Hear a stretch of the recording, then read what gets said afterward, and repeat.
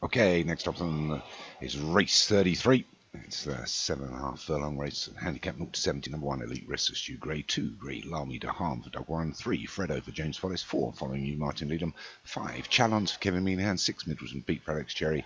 Seven is Thunderbird for Kevin Meanahan. And Zolano Fire is Alex Cherry as well. Eight of them over this extended seven furlongs. We're in the gates. The starter's going to get them away. And the one that just missed the break there was Fredo to us in the blue silks. Although it looks like nobody wants to take this along. Finally, Zolano Fire's got the lead, but a few pulling for the head there, particularly the grey, which I think is Thunderbird. The one pushing through now is following you. Still doesn't want to take it up. Finally, Zolano Fire takes a length or so lead go through the first two furlongs. So it's Alano for. Fire for Alex Cherry leads by about four from following you and Elite Risk against the fence. Then the Green Silks of Thunderbird and Challons. In between those is Middleton Beat.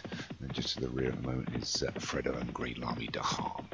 So with four furlongs still to travel, it's Zolano Fire that leads us by about three to Thunderbird.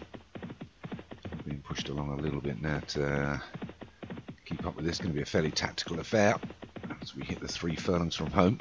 Zolano far still by about three from following you. Thunderbird wide, Middleton beat between horses. We've got Challons, Elite Risk making a move. Fredo and Grey Lamy Harm have got a bit caught for pace, but it's Zolano fire up front now being challenged by following you inside the two. One on the outside is Middleton beat, and it's following you that noses in front inside the final furlong now. It's following you from Zolano fire, Middleton beat, Elite Risk running on. Thunderbird and Challons got a bit to do, but it's following you inside the final half. It's following you. It looks like a win for Martin Leadham here, and it's following following you that's going to take this comfortably. He's going to win this by about two to three lengths from Hard Ridden, Middleton Beat and Elite Risk.